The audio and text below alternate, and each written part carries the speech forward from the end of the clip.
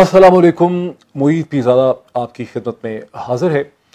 अफ़गानिस्तान में सूरत हाल बहुत ही तेज़ी से बदल रही है, अमरीकी फोर्सेस के विड्रॉल के बाद। और एक आम खदशे का अब इजहार किया जा रहा है कि अफ़गान तालिबान जो हैं, वो काबुल पे बहुत जल्दी काबिज हो सकते हैं मिलिटरीली उसे ऑक्यूपाई कर सकते हैं। ये एक बड़ी इवॉल्विंग फास्ट डेवलपिंग सिचुएशन है, जिसके तौर, जिसके बारे में हतमी तौर पर इस वक्त कुछ भी नहीं कहा जा सकता।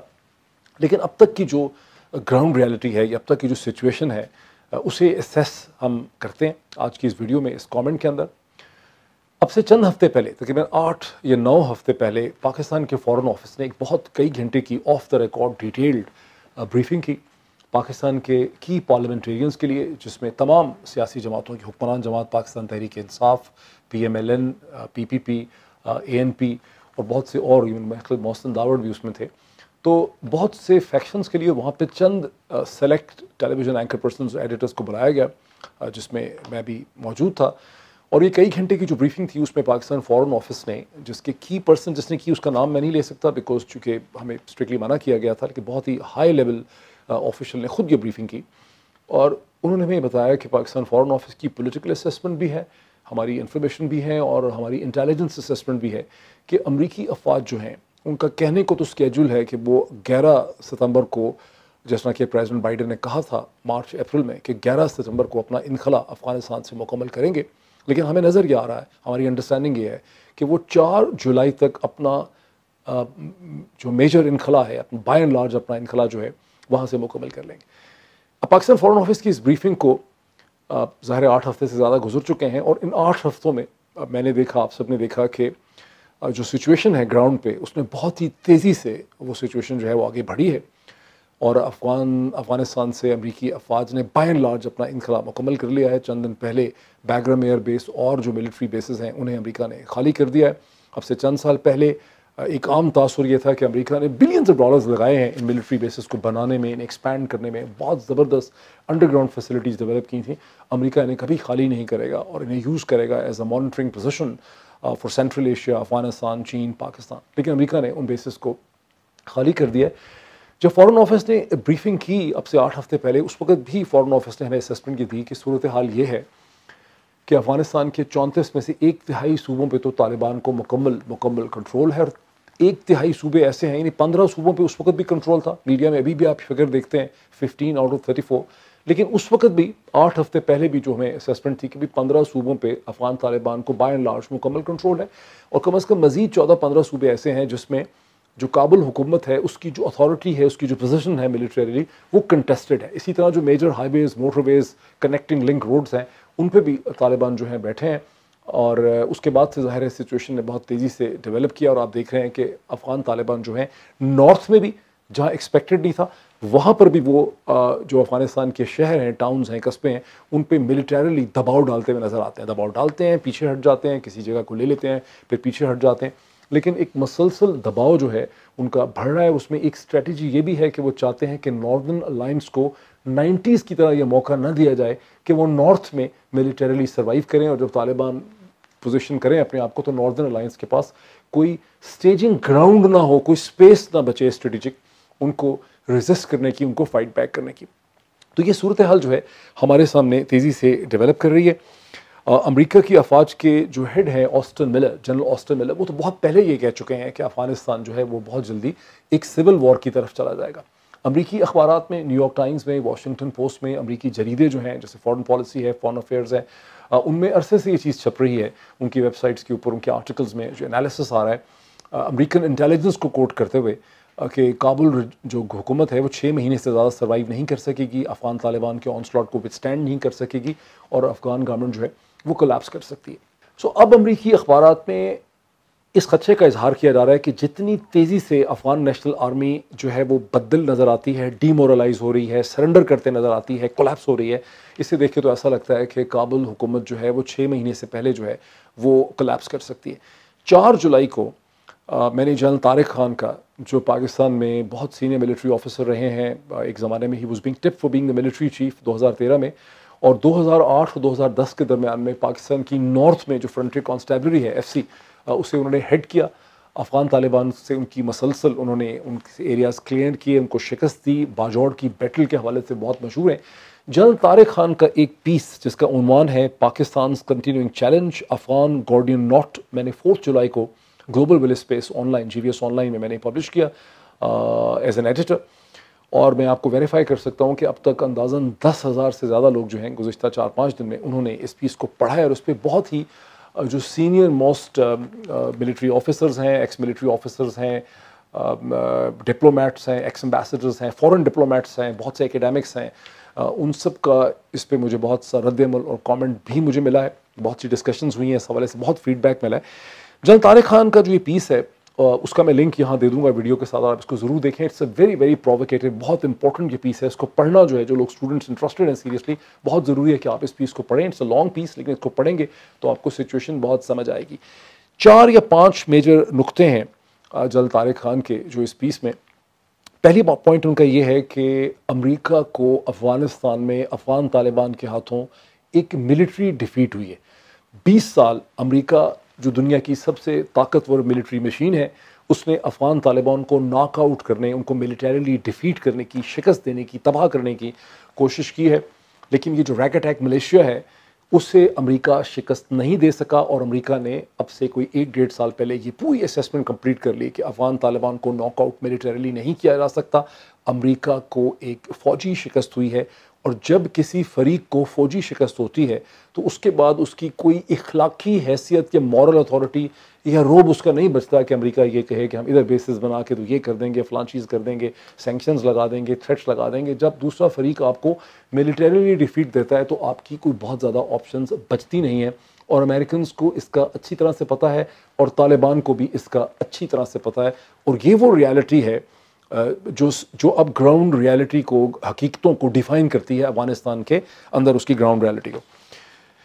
दूसरा उनका पॉइंट ये है कि जो एग्रीमेंट हुआ है दोहा में, फरवरी 2020 में, अमरीकी इस्टबलिशमेंट के दरमियान और अफ़गान तालिबान के दरमियान ये एग्रीमेंट हुआ है, ये अफ़गान हुकूमत इसका फ़रीक नहीं है, अफ़गान हुकूमत इसका फ़रीक नहीं बन सकी। ये एक ट्राईलेटरल एग्रीमेंट नहीं हुआ, बल्कि बायोलेटरल अरेंजमेंट हुआ है, जिसका बुनियादी मकसद ये था अमेरिका का कि अमेरिका अपने आप को वियतनाम की तरह की, वो जो साइगॉन मोमेंट था, अप्रैल 1975 का, जब अमरीकी अफवाज को साइगॉन से दौड़ना पड़ा और उनके लोग और उनके एसेट्स उनके उनके जो जो लोकल सपोर्टर्स थे, वो अमरीकी हेलीकॉप्टर्स के साथ लटके हुए साइगॉन से फ़रार होने की कोशिश कर रहे थे। तो वो जो इमेजेस हैं, वो अमरीकी जो सोल है, जो स्पिरिट है, जो अमरीकी रूह और जो उसकी जो उसकी अमरीका की जो एक साइकोलॉजी है उसमें बहुत गहरे बैठे हैं जहाँ से गुज्त पैंतालीस बरस से वो जो वियतनाम की शिकस्त है, उसका जो करब, उसका जो दुख है, उसका जो खौफ और उसका जो पैनिक इफ़ेक्ट है, वो अमेरिकन साइकोलॉजी में है और अमेरिकन इस्टेब्लिशमेंट की इस दफ़ा की कोशिश थी कि वो अफगान तालिबान से एक ऐसा एग्रीमेंट कर लें, जिसके नतीजे में वो वियतनाम स्पेक्टर स्पेक्टर जो है, जिसको साइगॉन मोमेंट कहा जाता है अमेरिकन हिस्ट्री में, वो दोबारा ना खड़ा हो। और यही चीज़ हो रही है कि इस वक्त अफगान तालिबान अमेरिकन ट्रूप्स के ऊपर उन्होंने किसी किस्म का कोई हमला नहीं किया, वो उनको कंप्लीट सेफ़ पैसेज दे रहे हैं और अमेरिकन जो हैं, वो भी उसे रिस्पेक्ट करके वहाँ से विड्रॉ कर रहे हैं। जैसे कि आप देख रहे हैं कि इस वक्त टोटल प्रेजेंस अमेरिकन जो ब्रिटिश की, उनकी एम्बेसी के बाहर, उनके शायद चंद सौ सिपाही हैं और इस वक्त टर्की की फोर्सेस ने काबुल के इंटरनेशनल एयरपोर्ट की हिफाजत की, ज़िम्मेदारी ली हुई है। कुछ इसमें रोल इस वक्त Iran Turkey Iran Russia Pakistan वगैरह जो है, सब इसमें रोल प्ले कर रहे हैं। चाइना का रोल जो है ताहम इस वक्त बड़ा साइलेंट हमें नज़र आता है। अच्छा अब उसके बाद जान तारिक का पॉइंट ये है कि इसके रिएक्शंस क्या होंगे? वो ये कहते हैं कि जब अमेरिकन का विड्रॉल यहाँ से कंप्लीट होता है तो अगले चंद हफ्तों में इसका जो रियल वेक्टर है अफ़गानिस्तान का, वो दूसरी बड़ी ताकत होगी चीन, जिसका इकनॉमिक असर रसूख सी पैक और बेल्ट रोड इनिशिएटिव की फॉर्म में अफ़गानिस्तान में एक्सटेंड करेगा। पहले ही चीनी जो है, वो अफगान तालिबान के साथ कई किस्म की इकनॉमिक अंडरस्टैंडिंग्स जो हैं वो कर चुके हैं। मादनियात के हवाले से रिसोर्स के हवाले से स्ट्रेटजिक स्पेस के हवाले से। तो चीन का असर रसूख बढ़ेगा। दूसरी तरफ़ से रशिया है,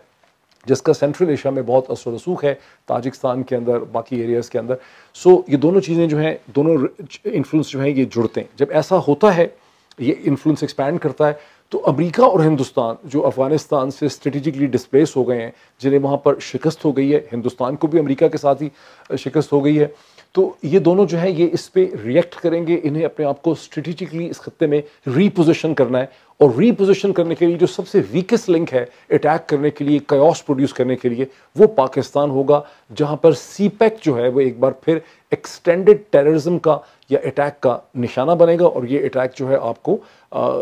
नॉर्थ में भी नज़र आएगा, बलोचिस्तान में इंसर्जेंट्स को हिंदुस्तान ज़्यादा सपोर्ट करता नज़र आएगा। लेकिन जनरल तारिक खान का एक एनालिसिस ये भी है कि अक्टूबर 2021 से पहले यह मुमकिन है कि हिंदुस्तान, गिलगित बल्तिस्तान में एक वॉर सिचुएशन खड़ी करे स्कर्दू की तरफ़, और वहाँ पे हिंदुस्तान का क्लेम ये होगा कि सी पैक एक डिस्प्यूटेड टेरिटरी से गुजर रहा है, इसलिए हिंदुस्तान उसके खिलाफ जो है, वो रिएक्ट कर रहा है। सो ये उनका एक एनालिसिस है, जो बड़ा एक फ्राइटनिंग एनालिसिस है। और इसे लोगों ने बहुत सीरियसली भी लिया है। अब जब उनका ये एनालिसिस सामने आया तो बहुत से लोगों का मुझे, जैसे मैंने शुरू में कहा कि फीडबैक मिला, जिसमें मिलिट्री एक्सपर्ट्स भी हैं, जिसमें पाकिस्तान के डिप्लोमेट्स हैं इंटरनेशनल डिप्लोमेट्स हैं एकेडमिक्स भी हैं, वो जो रद्द अमल है, उसके चंद पॉइंट्स जो हैं, कम अज़ कम पाँच से छः पॉइंट्स हैं जो मैं आपके सामने रखना चाहता हूँ for your assessment and analysis एक तो यह है कि गुजशत 24 घंटे में हमने देखा कि अफगान तालिबान ने एक बार फिर इस चीज़ की वजाहत की अपने मॉस्को के ऑफ़िस से जैसे रशिया की एजेंसी तास ने कवर किया है और उसमें उन्होंने ये कहा है कि हमारा अफगान शहरों के ऊपर मिलिटरीली अपने आप को इम्पोज करने का काबुल और अदर सिटीज़ पे कोई प्लान जो है हमारा नहीं है। ये तो एक उनकी लेटेस्ट पोजिशन सामने आई। दूसरी पोजिशन ये है कि ये बात बड़ी वाजह है, गुजशत मई से, इस साल मई, जून से हिंदुस्तान के मीडिया ने ये एडमिट किया है कि इंडियन इस्टेबलिशमेंट जो है, उसके अब तालिबान के साथ बैक चैनल रवाबित जो है, हैं।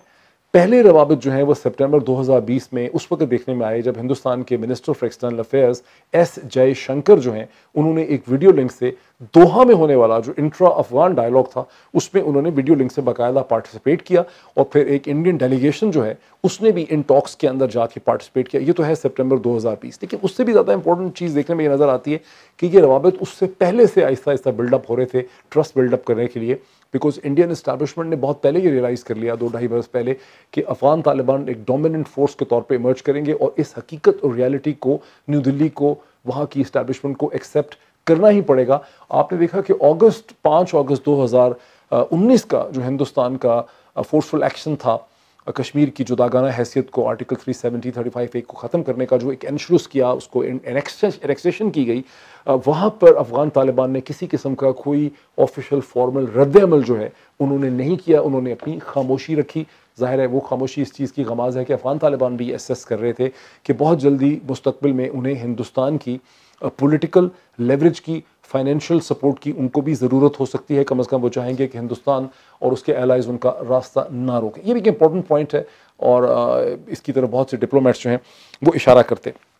अब ये भी कहा जा रहा है कि जी, अब अफगान तालिबान जो हैं वो वो वाले अफगान तालिबान नहीं रहे जो पहले नज़रियाती थे। मुला उमर के और अब अफगान तालिबान को चूँकि बड़ी मार पड़ी है, बड़ी जदोजहद करनी पड़ी है तो अब ये अफगान तालिबान बड़े सियाणे हो गए हैं और ये बड़े एक प्रगमेटिक हो गए हैं। ये एन मुमकिन है कि अफगान तालिबान को मगरबी मीडिया ने एक ख़ास किस्म के लेंस से दुनिया को दिखाया हकीकत यह है कि अफ़गान तालिबान हमेशा ही कभी बहुत आइडियोलॉजिकल नहीं थे और वो आ, कभी भी उस तरह से कोई पैन इस्लामिक मूवमेंट का हिस्सा नहीं थे। वो एक लोकल फोर्स थे प्रैग्मेटिक थे। 9/11 के बाद 9/11 9/11 में अफ़गान तालिबान का क्या रोल था? ये बड़ा कंट्रोवर्शियल है। वेस्टर्न मीडिया ने पूरी दुनिया को यकीन दिलाया कि सम और देर मुला उमर अफ़गान तालिबान जो हैं वो 9/11 का जो एक टेररिज्म है उसका एक्टिव पार्ट थे। इसकी कोई कन्विंसिंग एविडेंस जो है वो सीरियस एकेडमिक्स ने मैंने कम अज़ कम जितनी भी देखी है वेस्टर्न पब्लिकेशन वहाँ पर कोई इसकी सीरियस एविडेंस नहीं मिल सकी कि अफ़गान तालिबान 9/11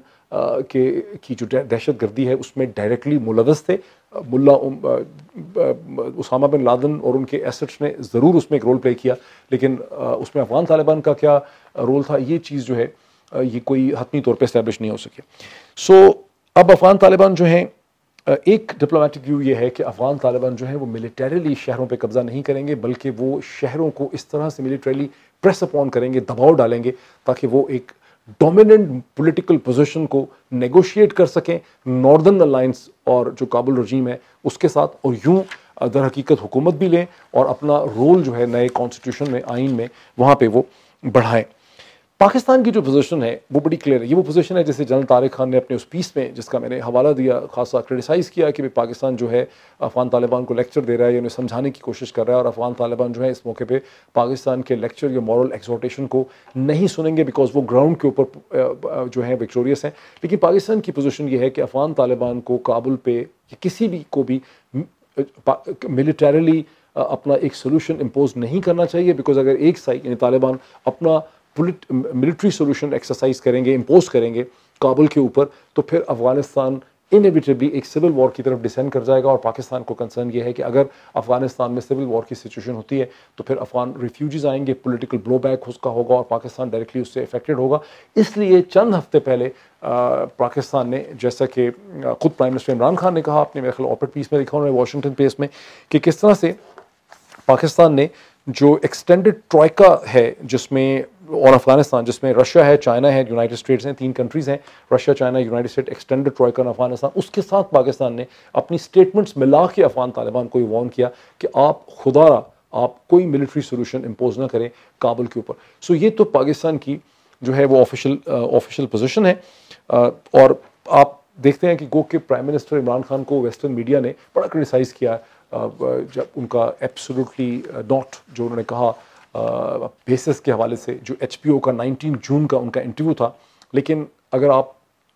प्राइम मिनिस्टर इमरान खान का वो ऑपरेट पीस जिसका मैं लिंक आपको एक बार फिर दे दूँगा, जो उनका ऑपरेट पीस है 21 जून का उनका ऑपरेट पीस है वॉशिंगटन पोस्ट का जिसका उनवान ये है कि Pakistan is ready to be a partner for peace in Afghanistan but we will not hold we will not hold U S bases twenty first June Washington Post इसको अगर line by line पढ़ें तो आप देखते हैं कि पाकिस्तान की जो रिस्पॉन्सिबल पोजिशन है, अफ़गानिस्तान के हवाले से, तालिबान के हवाले से, वो बड़ी खुल के वाज होती है कि हम अमरीका वेस्टर्न अलाइज बाकी सारी दुनिया के साथ कॉपरेट करने के लिए तैयार हैं टू फाइंड अ स्टेबल अफ़गानिस्तान। लेकिन हम किसी किस्म के मिलिट्री सोल्यूशन को आइदर बाय तालिबान, हम उसको सपोर्ट नहीं करते, ना ही हम किसी को फैसिलिटेट करेंगे कि पाकिस्तान की स्पेस को यूज़ किया जाए। On uh, uh, for for make, make, making any kind of military you know offenses inside Afghanistan हालाँकि अगर पाकिस्तान अमेरिका को ज़्यादा एक्टिवली सपोर्ट करता बेसिस की शक्ल में तो पाकिस्तान के बहुत से जो इकोनॉमिक चैलेंजेस हैं उनका हल निकल सकता था बट पाकिस्तान की बड़ी रिस्पॉन्सिबल पोजीशन है कि हम ये नहीं होने देंगे ये इस वक्त की एक सिचुएशन है इसका फाइनल ये ऊँट किस करवट बैठेगा अभी इसकी कोई क्लैरिटी नहीं है जैसे जैसे ये सिचुएशन मज़ीद क्लियर होगी मैं आपके सामने इस पर एक एनालिसिस लेके आऊँगा। आई होप कि ये फैक्चुअल एनालिसिस जो रियलिस्टिक एनालिसिस है, ये आपकी मदद करेगा समझने के लिए कि इस वक्त क्या सिचुएशन है। Thank you so much